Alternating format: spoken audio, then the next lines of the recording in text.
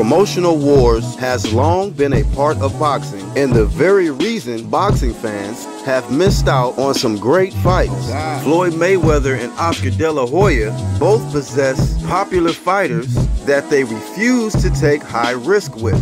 Floyd Mayweather Jr. has Gervonta Tank Davis, and Oscar De La Hoya has Ryan Garcia. This is a hot fight that boxing fans want to see.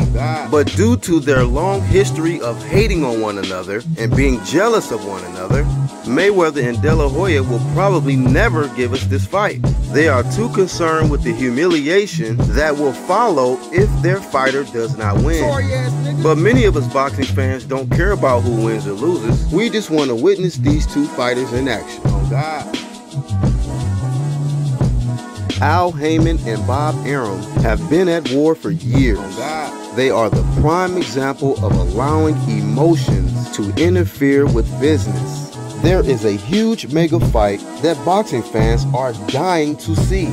Al Haymon has Errol Spence Jr., and for the longest time, Bob Arum had Terrence Bud Crawford, and they could not come together for the sake of the boxing fans and legacy at welterweight for us all to witness a historical event.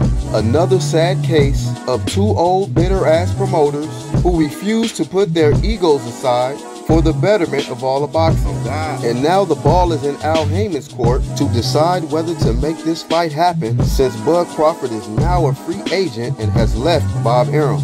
Will Al Haymon deliver or will the boxing fans be left disappointed, missing out on yet another mega fight that we all want to see? God.